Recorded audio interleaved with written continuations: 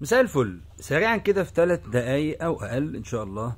لو أنت الظروف يعني واقع معاك خالص إزاي تقدر تعيش في مصر بأقل مبلغ ممكن تعيش بيه؟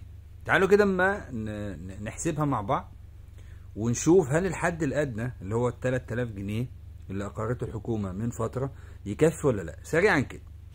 هنقوله اللي أنت هتقعد في منطقة متوسطة ايجارها هتاخد سرير طبعا مش هنقوله أسرة يعني. هنتكلم على فرد واحد يعني. تاخد لك سرير share مع مجموعة من الناس. السرير لوحده في منطقة متوسطة منطقة نظيفة 800 جنيه. خلاص سيبك بقى من التأمين وسيبك من الايه من العمولة أو السمسرة. 800 أكل وشرب أنت محتاج فطار غدا عشاء.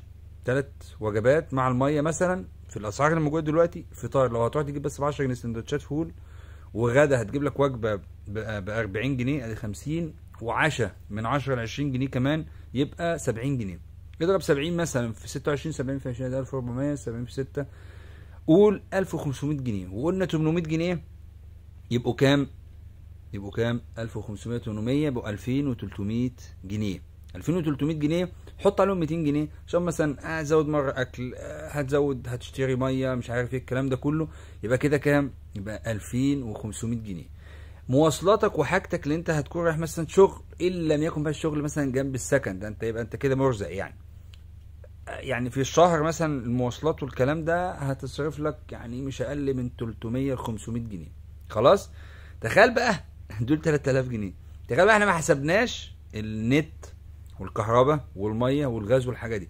أقل واجب في الأسعار اللي موجودة. لو أنت بتشحن باقة نت يعني مثلا ب 100 جنيه وغاز ومية وكهرباء كمان 100 أدي 200 و... وإيه كمان؟ وهتلاقيك بتدفع بقى ضرايب مش عارف فين وبرضه مواصلات تزيد مرة. دواء الأدوية بتاعتك في خلال الشهر. فأنت دخلت دلوقتي مثلا بنتكلم في حوالي 3500 جنيه إلى 4000 جنيه. طيب ليه بقول كده؟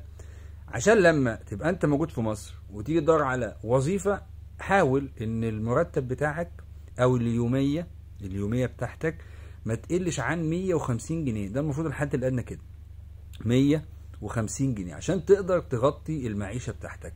تخيل بقى لو أسرة دي يعني فعلا ربنا يتولانا تضخم في الأسعار رهيب رهيب رهيب يعني. بس دي ممكن نبقى نعمل لها فيديو تاني لو أسرة أقل مبلغ يقدروا يعيشوا بيه قد إيه فانت 150 جنيه بنتكلم في 4500 جنيه مثلا في الشهر مينيمم في الأسعار والتضخم اللي حاصل دلوقتي. سلام.